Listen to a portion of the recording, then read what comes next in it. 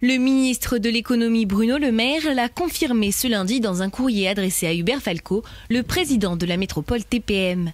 L'État s'engage totalement auprès des CNIM. Le groupe industriel stratégique qui embauche 2500 personnes, dont 1200 à la Seine, avait demandé en avril dernier une aide de l'État pour maintenir l'entreprise à flot. Les syndicats sont soulagés, mais espèrent surtout que cet engagement interviendra avant la fin du processus d'ouverture du capital. Nous, ce qu'on souhaite, et ça c'est très important, c'est que l'État euh, s'engage avant la fin des adossements. On y verra beaucoup plus clair. Il ne faut pas attendre la fin des adossements.